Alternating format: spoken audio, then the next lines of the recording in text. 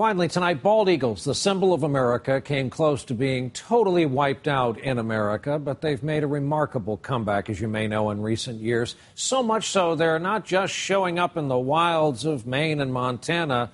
They may live a lot closer to you than you think. Our report from NBC's Kevin Tibbles. Some new neighbors are raising a family in St. Paul, Minnesota. In the 50 years Stan Wandersee's lived in this house, he's seen many come and go, but never any like these. This is a, uh, this is a gift of nature.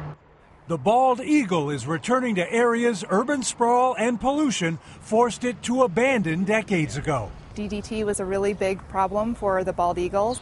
Bald eagles, in particular, were not able to form appropriate shells, and so since they weren't able to reproduce, their numbers really plummeted.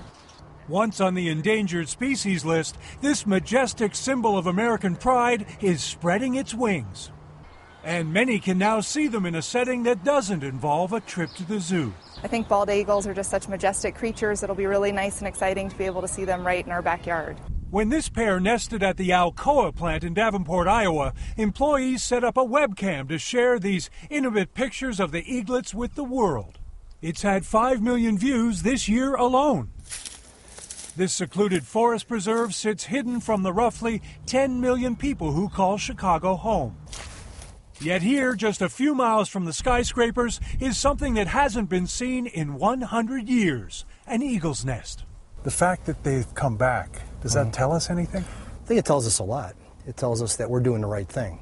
And it was a close call. By the 1960s, just 450 pairs of eagles remained in the lower 48 states. Today, those numbers have soared to more than 9,000, giving hope these treasured icons can once again live side by side with the humans who cherish them. Kevin Tibbles, NBC News, Chicago.